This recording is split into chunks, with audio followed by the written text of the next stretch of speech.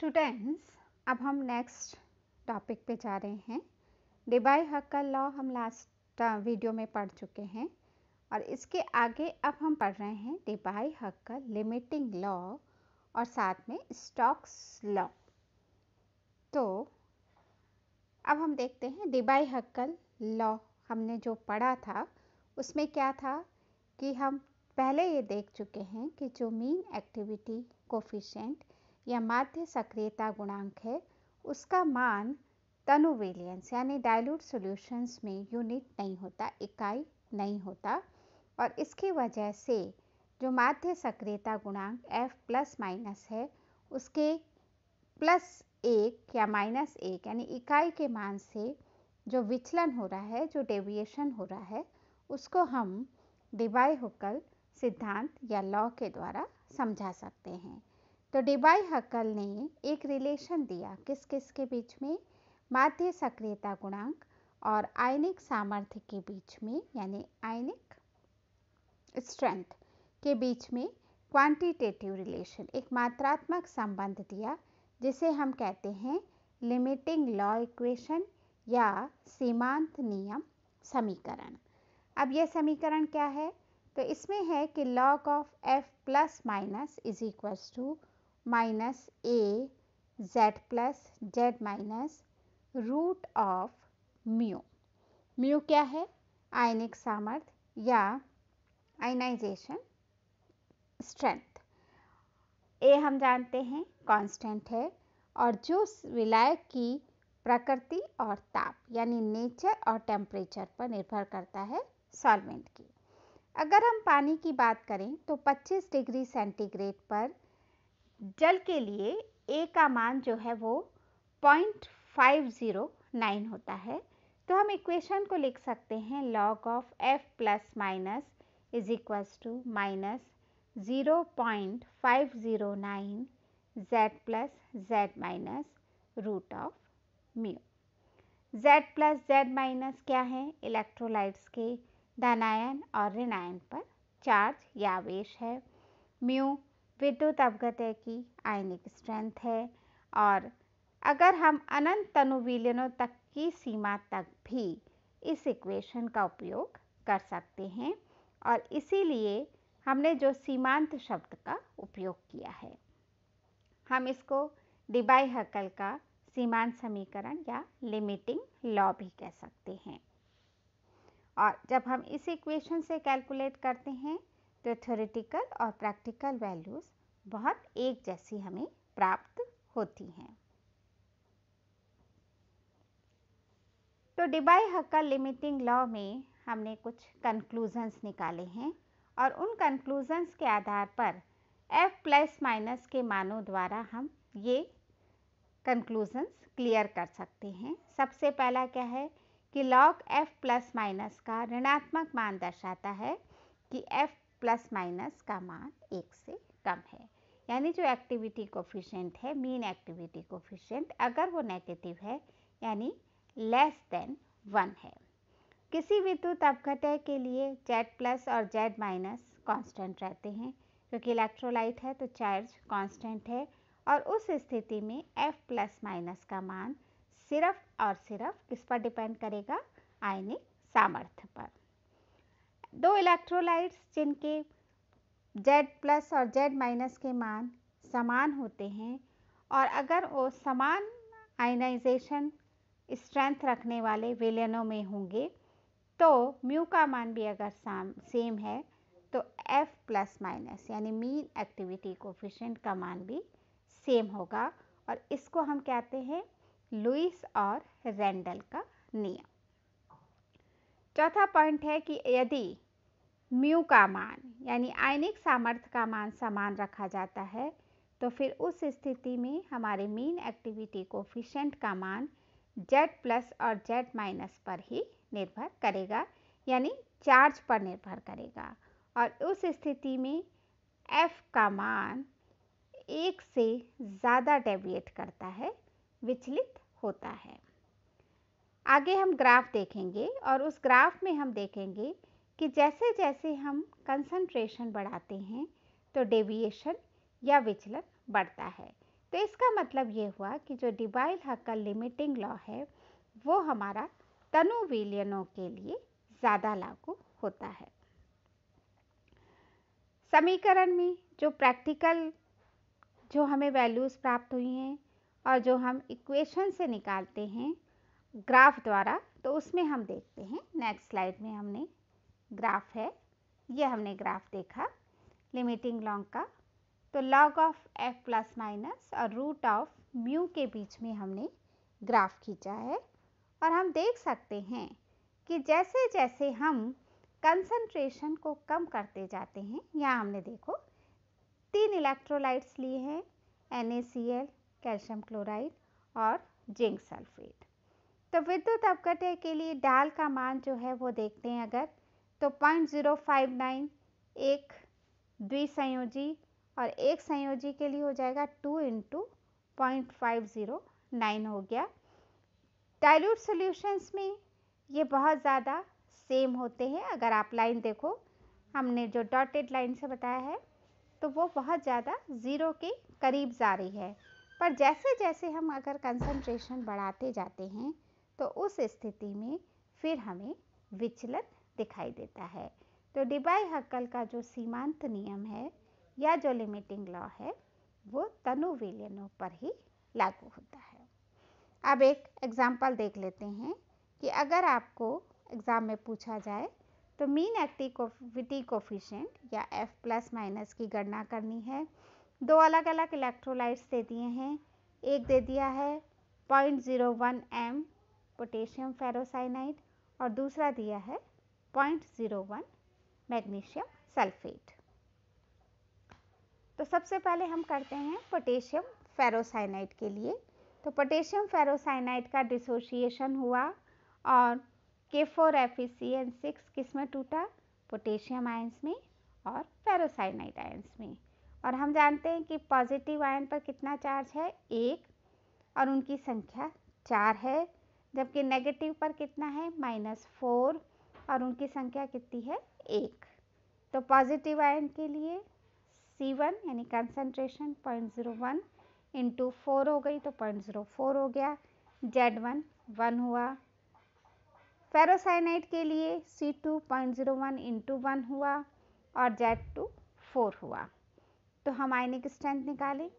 Half C one Z one square plus C two Z two square और जब हम इसको सिंप्लीफाई करते हैं तो ये आ जाता है zero point one. Value put करते हैं हमारे लिमिटिंग लॉग की इक्वेशन में। तो log of F plus minus is equals to minus zero point five zero nine Z plus Z minus root of mu. या minus zero point five zero nine Z plus कितना है? एक। Z minus कितना है? Four. तो into one into four into root of zero point one और जब हमने इसको सिंप्लीफाई किया तो ये आ गया minus zero point six five two point one को अब जब हम रूट से क्लियर करेंगे तो ये आएगा पॉइंट थ्री टू प्लस में। तो अब हम जो है एफ़ प्लस माइनस को हम लेंगे bar of one point three four eight क्योंकि क्या है minus zero point six five two है तो वन में से हमने माइनस किया तो वन माइनस का आ गया और रिमेनिंग कितना बचा पॉइंट थ्री फोर एट इसी तरह से हम दूसरा विलियन लें और दूसरे विलियन में मैग्नीशियम सल्फेट है मैग्नीशियम भी एक मॉलिक्यूल है सल्फेट भी एक मॉलिक्यूल है, दोनों पर चार्ज भी बराबर है, दो दो। तो म्यू बराबर हो गया half point zero one into two का square plus point zero one into two का स्क्वायर और ये आ गया point zero four log of F plus minus A रख दिया point five zero nine into Z plus भी टू है जेड माइनस भी टू है और इंटू पॉइंट ज़ीरो फोर और सिंप्लीफाई किया तो ये आ गया minus zero point four zero seven two या एफ़ प्लस माइनस तो वन में से घटाएँगे तो ये आएगा zero point three nine one six तो इस तरह से हम किसी भी इलेक्ट्रोलाइट की मीन एक्टिविटी कोफिशेंट की गणना कर सकते हैं। अब हम आ रहे हैं नेक्स्ट टॉपिक पे और वो है हमारा स्टॉक्स लॉ तो स्टॉक्स लॉ ने, स्टॉक्स ने हमें क्या दिया है कि जब हमने प्रैक्टिकली देखा प्रायोगिक तौर पर तो हम देखते हैं कि जब कोई आयन विलियन में गति करता है तो उसकी गति अलग अलग विलियन में अलग अलग होती है और आयनिक गतिशीलता और चालकता भी अलग अलग होती है। तो स्टॉक ने इसको ऐसे समझाया, उन्होंने क्या कहा कि जब आयन विलियन में या द्रव में गति करता है तो द्रव का, यानी विलायक या विलियन का जो घर्षण बल है, वो उसकी गति का प्रतिरोध करता है। यानी विलियन के अंदर जो बल है, वो आयन को गति करने से रोकता है और जिसके फलस्वरूप आयन की गति कम हो जाती है। स्टॉक ने इस सिद्धांत का उपयोग करा, इसको यूज़ करते हुए कि प्रतिरोध की वजह से आयन की गति कम हो जाती है। उन्होंने क्या किया? एक गोलाकार आयन माना। उन्होंने माना कि जो आयन है, उसका आकार गोलाकार है। गोलाकार माना और इसके अनुसार आयन में उसकी त्रिज्या, रेडियस को हमने आर कहा, जो एक द्रव और उसकी शांता, विस्कोसिटी, नीटा है और अगर आयन आयन की गति वी है। तो उस स्थिति में द्रव द्वारा लगने वाला घर्षण बल, जो आयन की गति को प्रभावित कर रहा है या आयन की गति पर निर्भर करता है, वो क्या हो जाएगा? फोर्स कितना बल लग रहा है घर्षण बल? F R is equals to six pi R eta V. Six pi R क्या है? Radius of ion. नीटा क्या है? विस्कोसिटी या श्यांता द्रव की। और वी क्या है? वो है, किस गति से आयन गति कर रहा है। तो इस आयन की गति को पूर्व के अनुसार जो हमने बनाया है, उस प्रेरक बल, कुछ प्रेरक बल लगाना पड़ता है। तो जब आयन गति करना चाह रहा है तो उसके विरुद्ध उसको एक प्रेरक बल या फोर्स लगाना पड़ रहा है, ताकि वर्षण बल के प्रभाव को हम समाप्त कर सकें। तो हम विलियन पे कुछ इतना बल लगाएँ, ताकि ये घर्षण बल आयन को प्रभावित ना कर सके। सपोज़ करते हैं कि हमने जो प्रेरक बल लगाया है वो F है। आयन के घर्षण बल को समाप्त करने के लिए हम आयन को विद्युत क्षेत्र में गति कराते एक विद्युत जनरेशन के लिए लगा दिया। जिससे उस पर लगा हुआ विद्युत बल कितना बल लगाया है? Z I E E small ई ई जो क्या है? प्रेरक बल है। और वो प्रेरक बल कितना है? घर्षण बल के बराबर है। यानी घर्षण बल और प्रेरक बल दोनों बराबर हो गए। तो six pi eta six pi R eta V is equals to हमने कितना बल लगाया है? Z I E E Z charge है ई इलेक्ट्रिसिटी है और ई e इलेक्ट्रॉन्स तो v बराबर, यानी आयन की गति बराबर हुआ Z I E E upon six pi R eta तो ये आया हमारा फॉर्मूला कि आयन की इतनी गति होगी। अब आयन की गति लगाए गए विद्युत क्षेत्र, जो हमने क्षेत्र लगाते हैं, वो आयन की गति के समानुपाती होता है। यानी V is directly proportional to E. या V इज़ इक्वल टू एक कांस्टेंट दे देते हैं। ई e, तो U क्या है? एक समानुपातिक कांस्टेंट है। और इसको हम कहते हैं आयनिक मोबिलिटी या आयनिक गतिशीलता। तो आयनिक गतिशीलता किसके बराबर हुई? म्यू बरा यू बराबर वी अपॉन ई यानी आयन की गति डिवाइडेड बाय विद्युत क्षेत्र। तो ये आया Z I E E upon six pi R eta ये तो वी है, और मल्टीप्लाइड बाय ई तो ई e कैंसिल हो गया, और अब सिर्फ़ इतनी सी चीज़ बची है कि u बराबर Z I E upon six pi R eta अब हम सब जानते हैं कि किसी भी आयन को जब हम अनंत अनुता पर तुल्यांकी आयनिक चालकता जो है लेमडा आई वो किसके समानुपाती होती है? गतिशीलता के। तो म्यू आई के। तो lambda I is directly proportional to U I. यानी अनंत अनुता पर तुल्यांकी चालकता, आयन की गतिशीलता के, आयनिक गतिशीलता के समानुपाती है। अब lambda I is equal to, हम लिख सकते हैं, एफ़ यू आई और एफ़ क्या है? फेरेडे। जिसको हम लास्ट वीडियोस में पढ़ चुके हैं। और किसी आयन पर अगर हम मानते हैं कि आवेश जेड आई है, क्योंकि आयन है तो न्यूट्रल नहीं होगा, कोई ना कोई चार्ज होगा उस पर। तो lambda I is equal to Z I F U I या lambda is equal to Z I F U की वैल्यू पुट कर दी। Z I E upon six pi R eta या ये हो गया lambda I is equal to F E Z I square upon six pi eta R तो ये आई हमारी अनंत अनुता पर तुल्यांकी चालकता। अब इस इक्वेशन से हम क्या देख रहे हैं?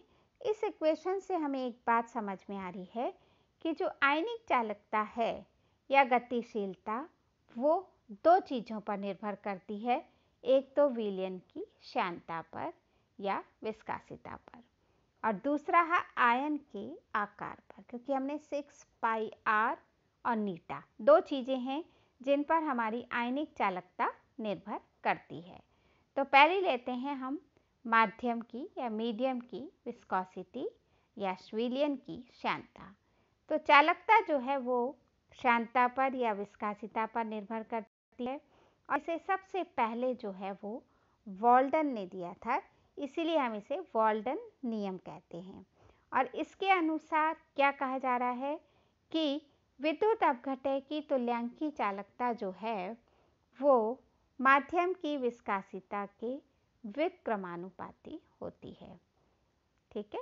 तो लेमडा इज़ infinite is inversely proportional to n0 या lambda infinite n0 is equals to constant. जैसे जैसे हम विस्कोसिटी बढ़ाएँगे तो लैंग की चालकता का मान कम होता चला जाएगा अगर हम विलियन की प्रकृति, जैसे टेट्रा एल्किल अमोनियम लिया है, या हम दूसरे आयंस लेते हैं तो ऐसे आयंस जिनका विलायकीकरण हो जाता है, सॉल्वेशन हो जाता है, जो विलायक के साथ क्रिया कर जाते हैं, उन पर ये नियम लागू नहीं होता। बाकी सब पर, जिन पर सॉल्वेशन नहीं होता, सभी विलायकों में आयन का आकार अगर एक सा होगा तो उस स्थिति में लैम्डा इनफाइनाइट एन ज़ीरो का मान कांस्टेंट रहेगा। दूसरा, आयन का आकार अगर हम आयन का आकार बढ़ाते हैं तो तुल्यांकी चालकता या आयनिक गतिशीलता का मान कम होना चाहिए। क्योंकि आयन बड़ा हो गया है तो वो धीरे गति करना चाहिए, पर ये ऐसा नहीं है। जैसे हम लिथियम और सीजियम। लिथियम की साइज़ बहुत छोटी है, बड़ा है, या हेलोजेंस लेते हैं तो फ्लोरीन लें या आयोडीन लें तो छोटे आयनों की गतिशीलता और तुल्यांकी चालकता कम है, जबकि बड़े आयनों की अधिक है। तो इसको हम कैसे समझाएँ?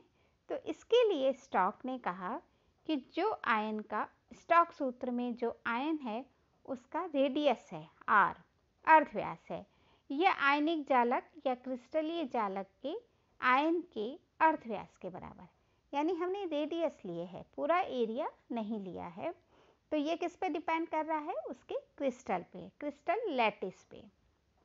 अब आयनिक क्रिस्टल्स हैं तो उनका रेडियस कम होता है। और वास्तव में छोटे रेडियस वाले आयनों का जो आकार है, वो बड़ा होता है। तो इससे छोटे रेडियस वाले आयन की सतह पर बहुत ज़्यादा इलेक्ट्रोस्टैटिक फोर्स आकर्षण, प्रबल विद्युत आकर्षण बल होता है। और ये जो प्रबल विद्युत क्षेत्र है, इसके कारण छोटा आयन बड़े आयन की तुलना में क्या करता है? आकर्षण पैदा करता है, जल और विलायक के अणुओं को अपनी ओर आकर्षित करता है। विलायकीकरण हो जाता है और इसके कारण उसका आकार बढ़ जाता है और जिसकी वजह से इसकी गति धीमी हो जाती है। तो जैसे लिथियम लें, लिथियम के जल योजन की क्षमता पोटेशियम से बहुत अधिक होती है और इसीलिए लिथियम की जो मोबिलिटी है या आयनिक गतिशीलता है, वो पोटेशियम की तुलना में कम है। स्टॉक के अनुसार अगर हम मल्टी चार्ज आयंस लेते हैं तो उनकी गतिशीलता सिंगल चार्ज आयंस की तुलना में अधिक होनी चाहिए, लेकिन जब हम मल्टी बहुआवेशित आयन और एकल आयनों की गतिशीलता में अंतर ज़्यादा नहीं है। जैसे सोडियम प्लस है, उसका 50.1 है, मैग्नीशियम दो ले लिया तो 55 हुआ, एल्यूमिनियम लिया तो 63 हुआ। तो इस प्रकार से बहुत ज़्यादा अंतर नहीं हो रहा है। बहुआवेशित मल्टी चार्ज वाले, जिनमें एक से अधिक आयन चार्ज होते हैं, प्रबल विद्युत क्षेत्र होने से इनका जल योजन, यानी सॉल्वेशन विलायक के साथ क्रिया ज़्यादा हो जाती है, इसलिए इनकी गतिशीलता में बहुत ज़्यादा वृद्धि नहीं होती है। तो इस तरह से तीन इफ़ेक्ट्स हैं कि एक हम रेडियस की बात करें, एक हम श्यांता की बात करें और एक हम चार्ज की बात करें। तो इन तीन चीज़ों के द्वारा आयन की गतिशीलता प्रभावित होती है, जिसे स्टॉक ने समझाया था। तो ये आपकी वीडियो में है।